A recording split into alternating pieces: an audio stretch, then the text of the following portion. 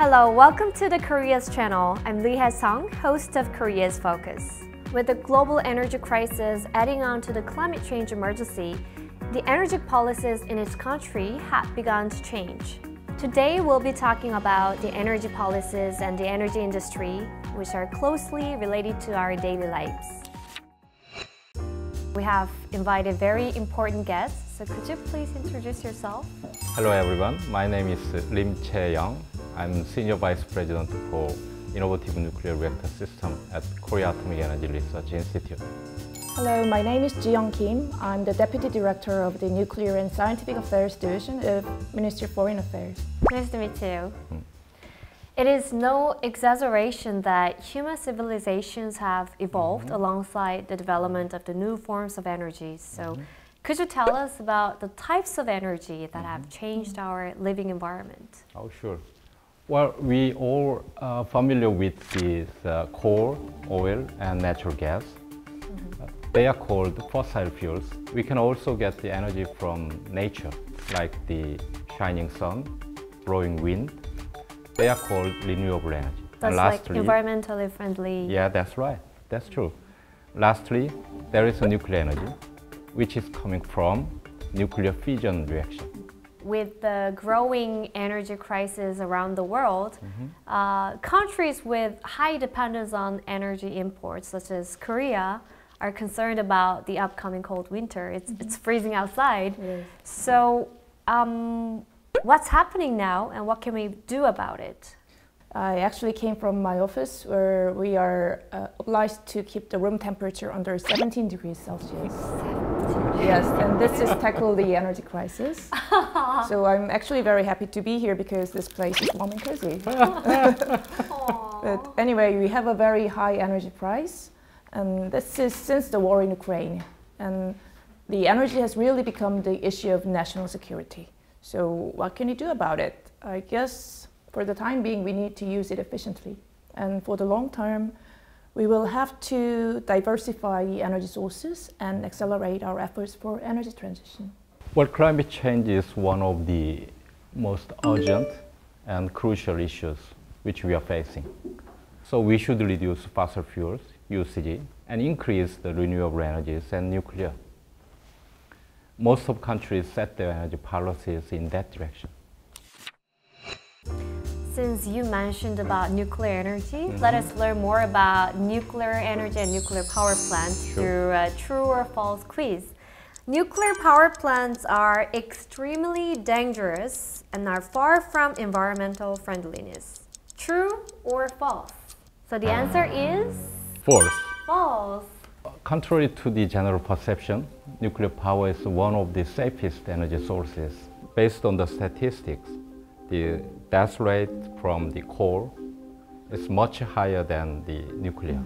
And in terms of environment, well, of course, nuclear does not create any kinds of carbon dioxide or greenhouse gases.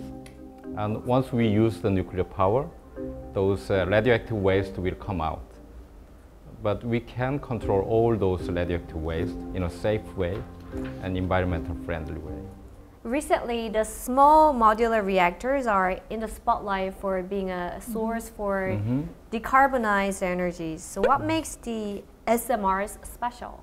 Well, SMR is a small modular reactor, which means smaller than the uh, conventional large nuclear power plant.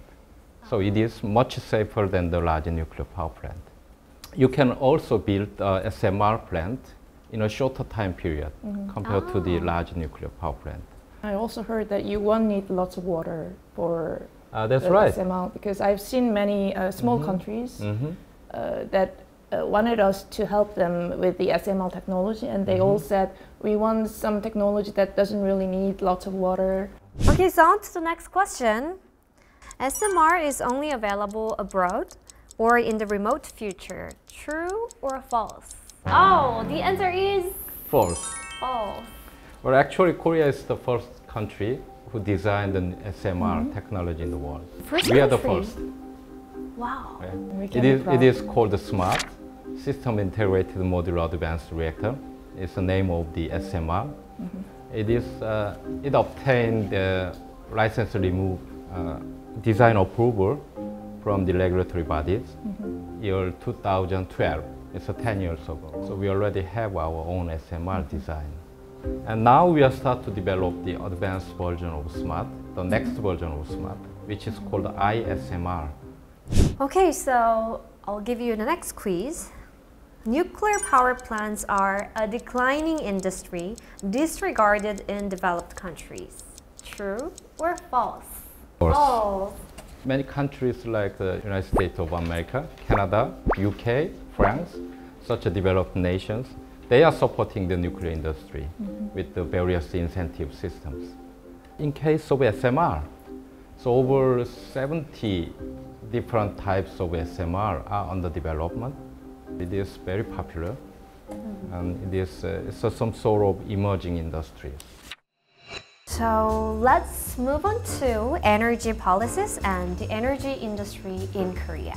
Since the start of the new administration in Korea, what are the future prospects of the government mm-hmm. about the energy crisis and energy policies? Mm-hmm. The government has announced new energy policies last summer, and it focuses on several measures to establish a feasible and re- reasonable energy mix, and strengthen energy security, and increase exports of new energy industries and capitalize on them as new growth engines. Nuclear power plants are our new growth engines, and the government aims to export them, uh, 10 of them actually by year 2030.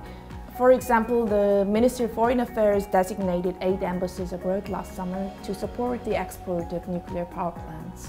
Play a critical role in collecting useful information real time and establishing networks for potential contracts.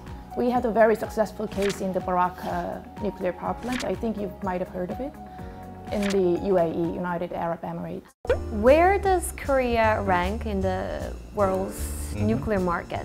Well, we are on the top. On the top. I believe. We built uh, 27 units of nuclear power plant in Korea and another four units in United Arab Emirates. So we have plenty of experience to build nuclear power plant. Quite Yeah. long history. Yeah, quite long history, and it's a continuous. Uh, it's a those continuous uh, uh, commissioning make us uh, some experience on this uh, built nuclear power plant on time, on budget. Yeah. That is uh, competitive edges in the nuclear, you know, global nuclear uh, industries. Okay, so today we discussed the global energy crisis and energy policies, industries that are growing in significance. Lastly, we always ask our guests for a song recommendation to wrap up our episode. So, Oh. could you tell us about your song Yeah, it's a, it's a so honor. well, uh, I'd like to recommend this uh, the song titled "Blueming" by IU. Ah, Blueming. Yeah. Oh, are you a fan of? Yeah, I'm a, I'm a big fan. Is the song related to this topic? No, I don't think so actually, but I'm a big fan. It can be related because it has high hopes for a warmer winter. Ah, yeah. So we can combat energy crisis. we want to, you know, blooming those uh, nuclear industry in Korea again. Oh, beautiful explanation. Thank you.